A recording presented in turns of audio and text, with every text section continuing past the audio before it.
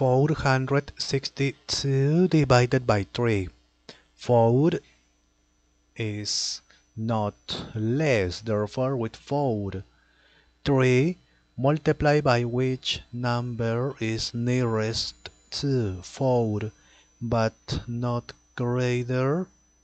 3 multiplied by 2, 6. 6 is greater. Multiply by 1, 3 is not greater. Okay. Subtract 4 minus 3 is 1. Next, 16.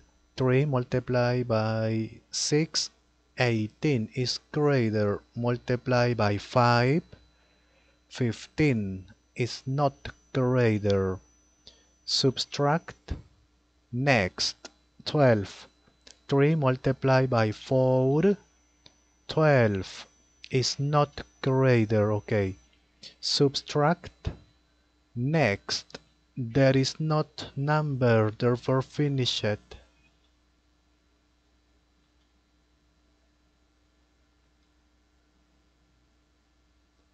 Okay, 462 divided by 3 is 154.